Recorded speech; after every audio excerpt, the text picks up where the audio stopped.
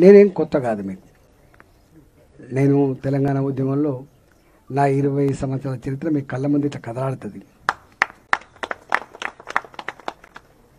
నేను రెండుసార్లు మంత్రిగా పనిచేసినట్టు కూడా చెప్పిండు. తొలి ఆర్థిక ఆర్థిక మంత్రిగా కావచ్చు. హెల్త్ కష్టకాలంలో ఆరోగ్య శాఖ మంత్రి కావచ్చు. ఆ తదుపరి నన్ను బయటికి వెళ్ళగొడితే మీ ఆదుకున్న తీరు కావచ్చు అదంతా మీకు తెలుసు.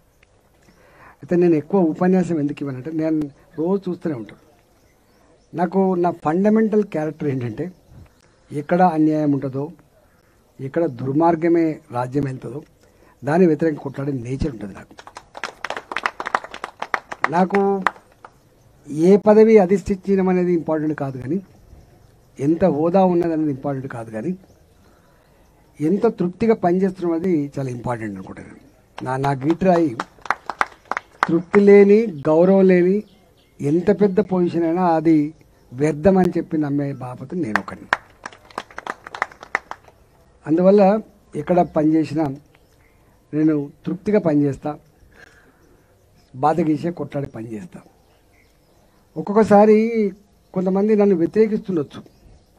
కానీ నేను ఎన్నుకున్న మార్గం ఆచితూచి ఎన్నుకుంటా నేను. తర్కించుకొని పరిపరి విధాలు తర్కించుకొని ఎన్నుకుంటాను ఫర్ ఎగ్జాంపుల్ మొన్న లేటెస్ట్గా మీకు నేను ఎంపీ మీ ఆశీర్వాదంతో ఎంపీనండి నేను. నాకు తెలుసు నాకు ఇక్కడ మా పరిస్థితి ఏంది కథ ఏంది. మీ అందరి ఆశీర్వాదంతో ఏ కాలనీకి ఆ కాలనీ ఏ ఇంటికి ఆ ఇల్లే? ఈ బిడ్డడైతే మాకు పరిచయం ఉన్న బిడ్డ మా కోసం తప్పించే బిడ్డ కొట్లాడతానని చెప్పి మీరు నాకు ఓటేసి గెలిపించారు. నేను మీకు మీకు రీచ్ కాకపోవచ్చు కానీ ఒక మాట చెప్పిన నేను. మీ గౌరవానికి ఎక్కడ భంగం కలిగించను. మీ ఎంపీ ఎవరంటే ఈటల అని చెప్పి గర్వంగా చెప్పుకునేటువంటి పరిస్థితి తెస్తా అని చెప్పి చెప్పాను. కానీ మీకు మచ్చతేనని చెప్పిన మీకు ఎక్కడ మచ్చతేను? ఎస్ ఇక మా ఎంపీ అని చెప్పుకునే పరిస్థితి తెస్తా అని చెప్పినాం. నాకు మొట్టమూలు మొట్టమొదలే హైడ్రా పేట వచ్చింది. చాలామంది మేధావులు నన్ను విరుచుకపడరు. నువ్వు చెర్లల్లో చెర్ల ఆక్రమణకు నువ్వు అనుకూలమా? నేను చెర్ల ఆక్రమణకు అనుకూలం కాదు నేను. చెర్లు చల్లగా ఉండాలని చెర్లల్లో విదేశీ పక్షులు ఎగరాలని మా చేపల మత్స్యకారులు చేపలు పట్టుకునే చెరువుగా ఉండాలని ఆ చెరువు ఒక ఆహ్లాద వాతావరణాన్ని కల్పించాలని చెప్పి కోరుకుంటే తప్ప చెరువు మురికి కూపంగా ఉండద్దని మాత్రం కోరుకుంటాను నేను ఇవాళ హైదరాబాద్లో నేను అన్న మాట ఏంటంటే సరే మంచికో చెడుకో చెర్లల్లో చాలామంది తెలియని అంశం ఏంటంటే చెరువు అనగానే మొత్తం గవర్నమెంట్ భూమే ఎఫ్టీఎల్ కావచ్చు అది బఫర్ జోన్ కావచ్చు అనుకుంటారు కదా చెర్లల్లో కూడా పట్టా భూములు ఉంటాయి ఆ పట్టా భూములు వాళ్ళు రేటు పెరిగిన తర్వాత మట్టి నింపుకొని దాన్ని మంచిగా లేఅవుట్ చేసుకొని అమ్ముకున్నారు. అమ్ముకున్న తర్వాత మీలాంటి కాలనీలు ఎక్కడో వచ్చినాయి. నేనేమన్నా ఇప్పుడు ఆల్రెడీ ఆ ఆక్రమణకు గురి కాలంగా మిగిలిన చెరువులు ఏవైతే ఉన్నాయో ఆ చెర్లకు కూడా ఆల్రెడీ ఫెన్సింగ్ వేసి ఉన్నాయి. ఇప్పుడు కట్టుకున్న ముప్పై ఏళ్ళ క్రితం కట్టుకున్న మీకు మీరు పరిశ్రమ అయితే రసకొని చెప్తుంటే. ఇంక ఇక్కడ జొన్నల బండి అని ఉంటుంది జొన్నల బండి అని ఉంటుంది. సెవెంటీ ఇయర్స్ క్రితం కట్టుకున్న ఇల్లు అవి సెవెంటీ ఇయర్స్ క్రితం నాట్ నౌ అట్లే ఒక అల్వాల్ కాలనీ ఉంటుంది. నైన్టీన్ సిక్స్టీ ఫైవ్లో కట్టుకున్నా. ఎక్కడ బాధ అవుతుందంటే నేను అలవాల్లో ఇరవై ఏళ్ళు ఉన్నాను నేను. మీకు ఐడియా ఉంటుంది. నేను ముప్పై ఐదేళ్ళుగా ఇక్కడ మీ కళ్ళ ముందే ఉంటాను నేను. అందులో ఇరవై ఏళ్ళు ఉన్నటువంటి ప్రాంతం అల్వాల్ ప్రాంతం. అల్వాల్ ప్రాంతం.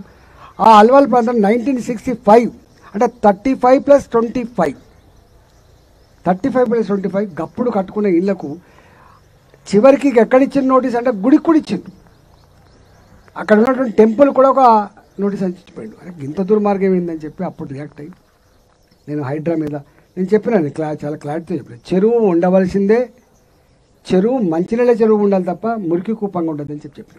ఇలా హైదరాబాద్ నగరంలో మీరు చూస్తారు అన్ని చెర్లల్లో అన్ని చెర్లల్లో ఎక్కడ చేపలు పెరగవు ఎక్కడ విదేశీ పక్షులు రావు.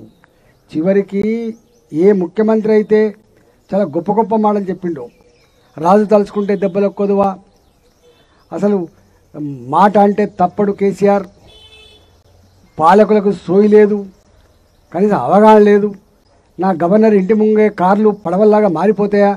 ఈ హుస్సేన్ సాగర్ ఇట్లా మురికంపైద్దని చెప్పి మాట్లాడు.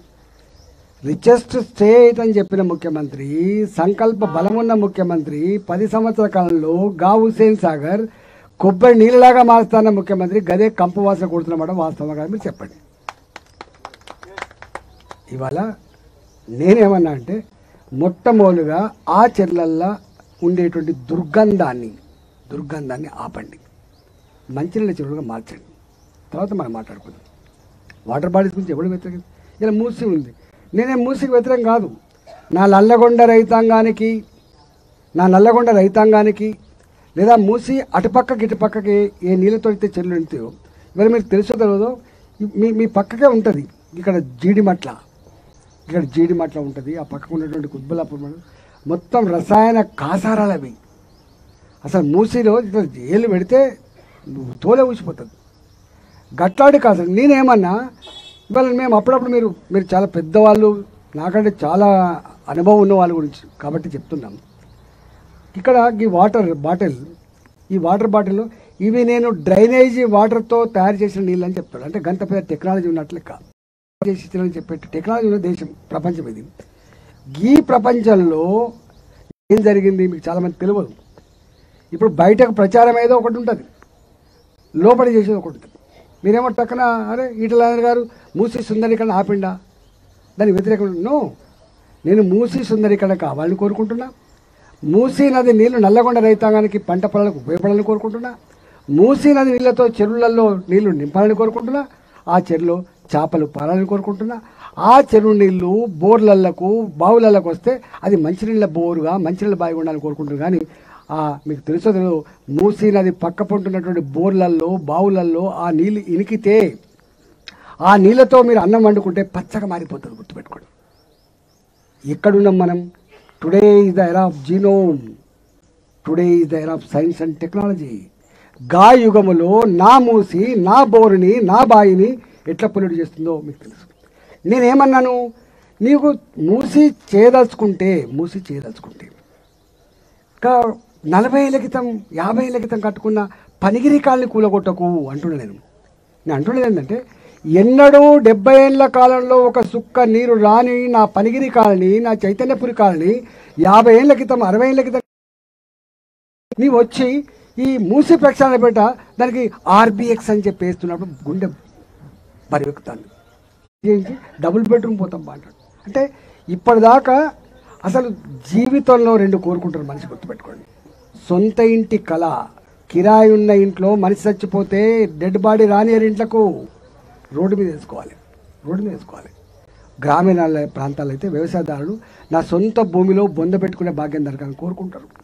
అది సమాజం కోరుకుంటారు అట్లాంటి సొంత ఇంటి కళ నెరవేరాలని యాభై ఏళ్ళ క్రితం వాళ్ళు ఇళ్ళల్లో పనిచేసిన వాళ్ళు కావచ్చు ఆటో నడుపుకున్న వాళ్ళు కావచ్చు పళ్ళ దుకాణం పెట్టుకున్న వాళ్ళు కావచ్చు కూరగాయలు అమ్ముకొని బతికిన వాళ్ళు కావచ్చు చిన్న చిన్న వాళ్ళు ఆ మూసినది పక్క పొంట అయితే కొంత తక్కువ ధర దొరుకుతుందని చెప్పి బయట అయితే యాభై వేలు అక్కడ ముప్పై వేలు దొరుకుతుందని చెప్పి ఇల్లు కట్టుకుంటే నువ్వు ఇలా వచ్చి టక్కన కూల కొడతా నీకు డబుల్ బెడ్ పెడతాడు అంటే ఓవర్ నైట్లో బుచ్చకాలుగా మార్చే పద్ధతి. గక్కడ వ్యతిరేకించింది. ఇవాళ ఇట్లా అనేకం ఉన్నాయి. నేను అందుకనే ఐదు నెలలు అవుతుంది. నేను ఎన్నికై ఐదు నెలల కాలంలో ఇదే పని చేసుకుంటుంటున్నా. నాది వార్తలలో రాకే రాయకపోయినా పట్టించుకోలే నా టీవీలో చూపించకపోయినా పట్టించుకోలే. కానీ రెండు నెలల కాన్స్టాంట్ పోరాటంలో ప్రజలకు అర్థమైపోయింది ఓహో కొట్లాటోడు ఒకడైతే ఉన్నాడని చెప్పి ఇవాళ నేను ఆ చెప్పిన. అందుకని ప్రజాస్వామ్యంలో అధికారం ఉన్నప్పుడు వాళ్ళకెంత అది ఉంటుందో కొట్లాడే వారికి కూడా అంటే ప్రజల పక్షాన ప్రజలకు అన్యాయం జరిగినప్పుడు రాజ్యం ప్రజల్ని పట్టించుకున్నప్పుడు రాజ్యం అహంకారపూరితంగా వివరించినప్పుడు తప్పకుండా ఎక్కడొకడు మీ గొంతుకై మాట్లాడే వాళ్ళు కూడా ఉండాలి.